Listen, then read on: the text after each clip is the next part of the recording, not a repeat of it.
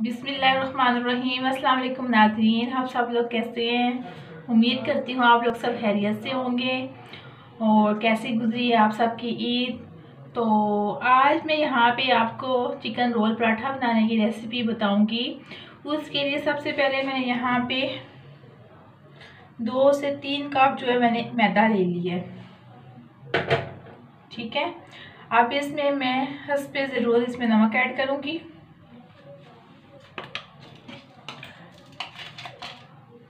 To teaspoon मैं इसमें sugar पीसी हुई ऐड करूँगी।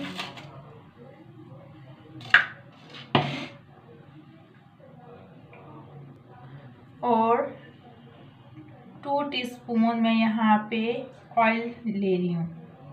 डालडा ऑयल मैं यूज़ कर रही हूँ उसमें। टू की जगह हम थ्री डाल देते क्योंकि मैंने मैदा ज़्यादा लिया है। आप मैदा जिस लिहाज से लेंगी टू कप ले रही हैं तो आप उसमें टू टीस्पून डाल दें ऑयल के तो मैं यहाँ पे थ्री डाल रही हूँ।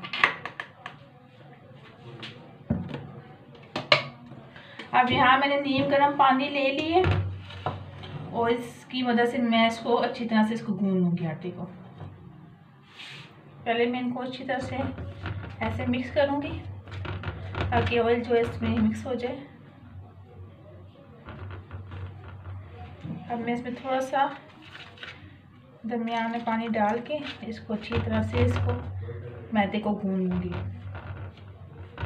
थोड़ा थोड़ा करके पानी डालना है हमने।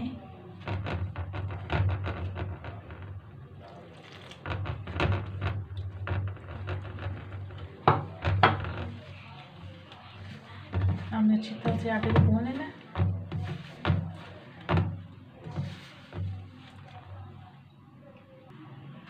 ये देखें, हमने अपना जो है आटा वो अच्छी तरह से मैदे को गूंद लिया है।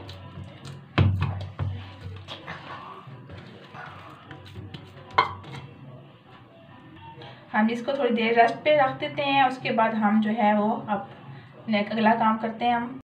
तो अब नाजरीन, हम इसकी फिलिंग करने के लिए अब सबसे पहले हम इसमें टू से थ्री टीस्पून हम इसमें ऑयल ऐड करेंगे। और यहाँ मैं इसमें वन टीस्पून लहसुन अदरक का जो है ऐड कर रही हूँ। यहाँ में मैंने यहाँ पे चिकन लेके छोटे छोटे इसके पीसेस कर लिए जब हमारा लहसुन अदरक जो है थोड़ा सा हल्का सा ब्राउन हो जाएगा तो हम इसमें चिकन ऐड करेंगे। अभी देखिए यहाँ पे हमारे लहसुन अदरक का जो कलर थोड़ा सा चेंज हो गया है। अब हम इसके अंदर जो चिकन है, वो हमें इसके अंदर ऐड करने लगी हूँ।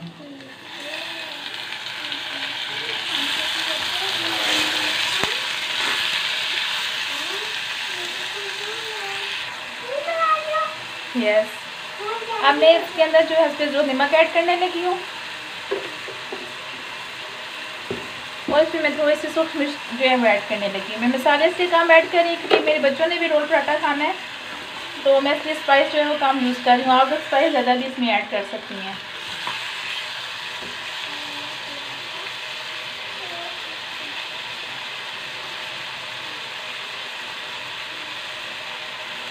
इसमें मैं two teaspoon soya sauce add कर रही हूँ।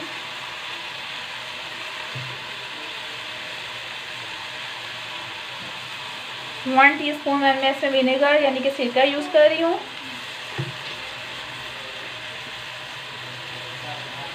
टू टीस्पून मैं इसमें सोया सॉस जो है वो उसमें ऐड कर रही हूँ। अब मैंने इन सबको अच्छी तरह से मिक्स करके 10 से 15 मिनट के लिए इसको मैं ढक के रख दूँगी ताकि हमारे चिकन है अच्छी तरह से वो गल जाए। अब ये देखिए मैं इसको 10 से 15 मिनट के लिए ये ढाम के रख दी ताकि हमारा चिकन अच्छी तरह से फ्राई भी हो जाए और गल भी जाए। ये देखिए नाजीन हमारा चिकन जो है वो अच्छी तरह से फ्राई हो चुके हैं। अब हम इसको एक प्लेट में निकाल देते हैं। ये देखिए नाजरीन हम पराठे के अंदर जो जो चीज़ें ऐड करेंगे यहाँ पे जो हमने चिकन फ्राई किया था वो मैं ले रही हूँ। ये मैंने पुदीने धनिए और सब्ज मिर्च और आ, क्या नाम है अनारदाना जो है वो मैंने पीस लिया था। ये देखें अब मैं इसको दही के अंदर मिक्स करूँगी इसको, ठीक है? इसको मैंने इसको अच्छी तरह से इसके अंदर मिक्स कर देना है। ये हम इसका जो पेस्ट है वो, जो दही होगी चटनी हमारी हम इसके अंदर लगाएँगे पराठे के अंदर। उसके अंदर हम खीरे जाएँगे, ये प्याज जाएँगे और ये बंद गोभी जाएगी। ये सारी चीज़ें हम पराठे के अंदर ऐड करेंगे। जो जो चीज़ आपको पसंद है वो आप लोग इसमें यूज़ कर सकते हैं। मैं इसके अंदर मायोनीस का भी इस्तेमाल करूँगी। अब हम बनाते हैं पराठा। तो नाजीन हम यहाँ पे जो है अब अपनी रोटी तैयार कर लेते हैं पराठे ये मैं छोटा सा पेड़ा ले रही हूँ यहाँ पे।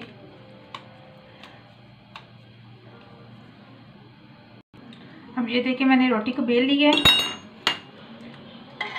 अब मैं उसके ऊपर थोड़ा सा घी जो है वो ऐसे लगा दूँगी।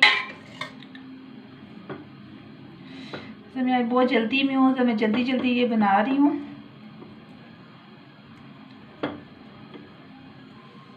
अब थोड़ा सा इसके अंदर ऊपर मैं थोड़ा सा मैदा डस्ट करूँगी। अब मैं इसको ऐसे ना, ऐसे, इसको ऐसे फोल्ड कर लूँगी।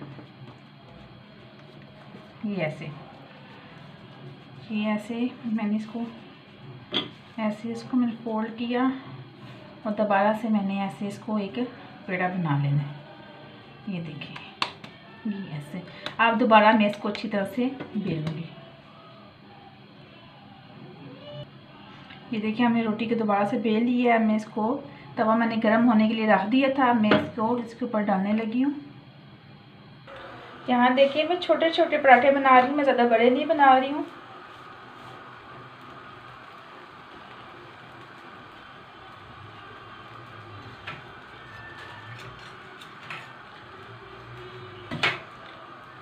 जब ये थोड़ा सा पक जाए तो फिर हम इसके ऊपर घी लगाएँगे। ये देखिए थोड़ा पकने लग गया है। तो हम अब इसके ऊपर घी लगाना शुरू कर देंगे।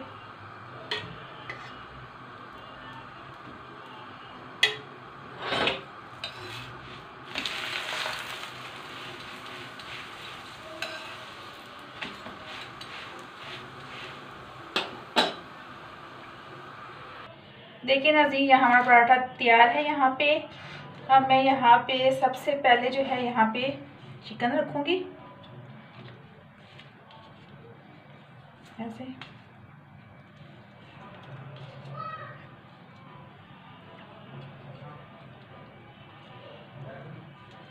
ठीक है। अब ये मैंने जो चटनी बनाई हुई थी, ये मैं अब थोड़ी सी इसके ऊपर डालूँगी।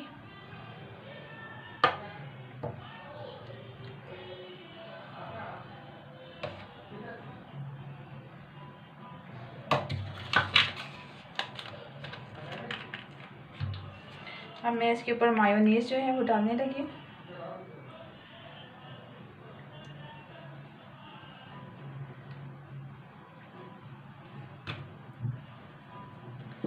यहाँ मैं थोड़ी सी बंद गोभी इसमें डालने लगी हूँ।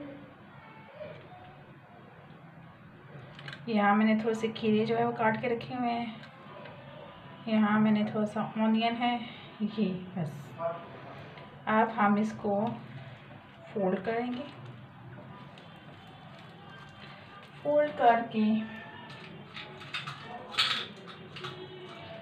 मैं यहाँ इनको ऐसे बंद कर दूँगी ताकि मेरे पराठे खुले नहीं और ये मेरा रोल पराठा जो है वो रेडी हो चुके हैं। अब इसी तरह हम और भी रोल पराठे अपने रेडी कर लेंगे। ये देखिए नाज़रीन, हमारा रोल पराठा जो है वो रेडी हो चुका है।